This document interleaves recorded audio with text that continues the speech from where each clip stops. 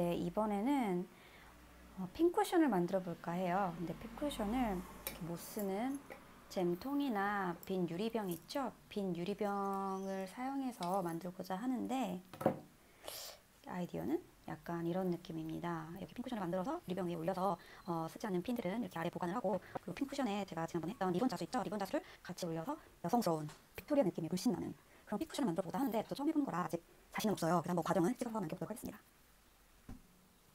먼저 자수를 두도록 하겠습니다. 크게 침봉을 넣을 거기 때문에 자수가 올라왔을 때 음, 한이 정도의 자수가 있었으면 좋겠다 싶어서 이렇게 대략적으로 꽃 크기를 동그랗게 그려줄게요.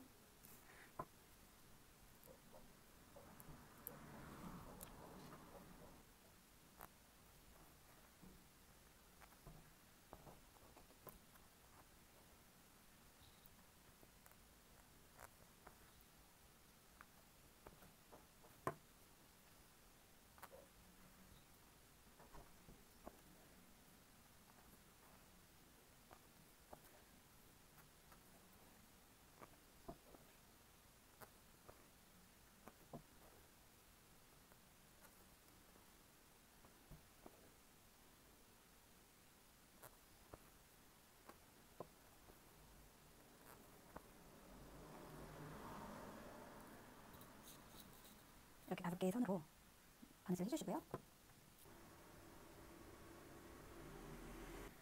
아, 장미는 만들기 굉장히 쉽습니다. 계속 한 방향으로 서클을 돌면서 감으면 되는 건데요.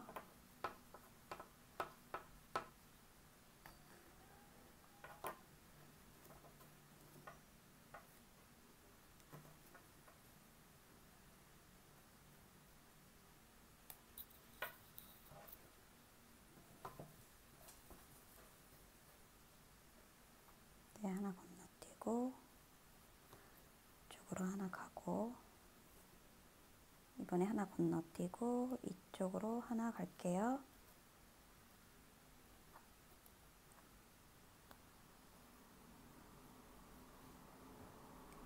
이쪽으로 하나 꼈으니까 이쪽 건너뛰고 이쪽으로 가겠습니다. 그다음에 이렇게 모양을 잡아가면서 어, 만드는 게 굉장히 중요합니다.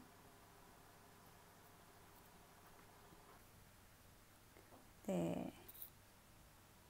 이렇게 어느 정도 장미 모양이 만들어졌으면 마무리를 할게요.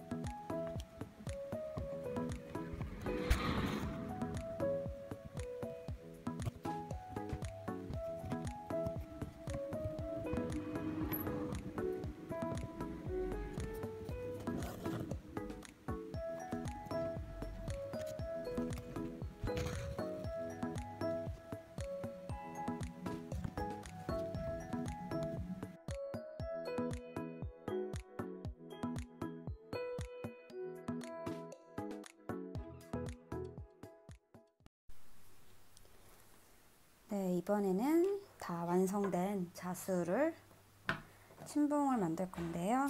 지난번과 마찬가지로 테두리로 홈질을 해서 조여줄 거예요.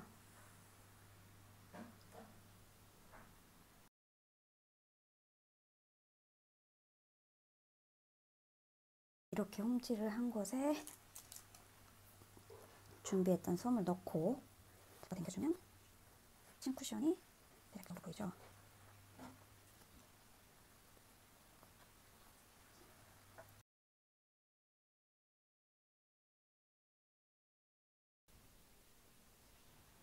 네, 대충 이런 모양의 핀 쿠션이 만들어졌으면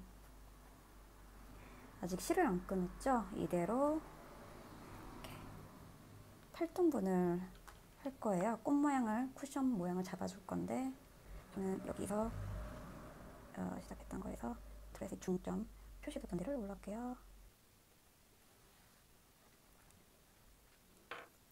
잡아주시고 미리 준비했던 단추, 중앙에 들어올 단추를 넣어주신 다음에 다시 한번 밑으로 내려갈게요.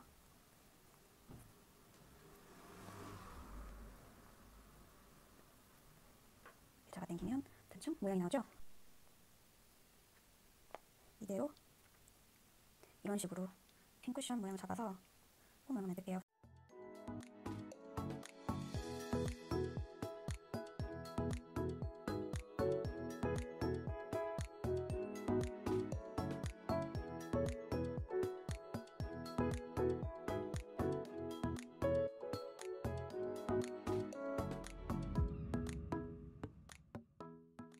여기 아까 구멍을 뚫어놨잖아요.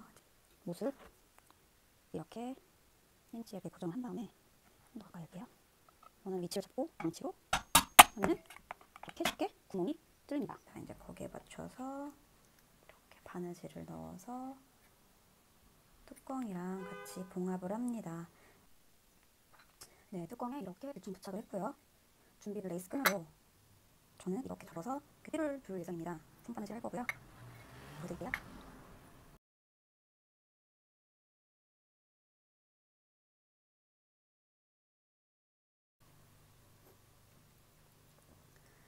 대충 이렇게 홈질로 위치만 잡았고요. 그 원단이 여기가 많이 나면 울퉁불퉁해지는 것도 좀 가려지죠. 이번에는 바느질을 좀 안 보이게끔 예쁘게 할 예정입니다. 어떻게 하냐면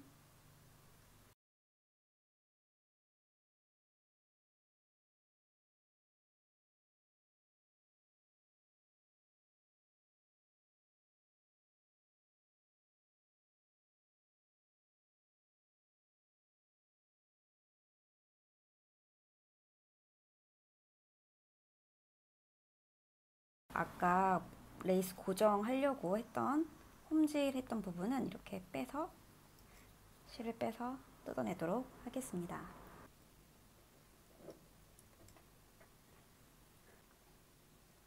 네, 이렇게 완성을 했다고 생각을 했는데 막상 만들고 나니까 이 실로 고정하는 거는 아무래도 한계가 있고 움직이고 이렇게 뜨는 것 같아서 결국은 본드를 사용해서 붙여서 하루 동안 두도록 할게요.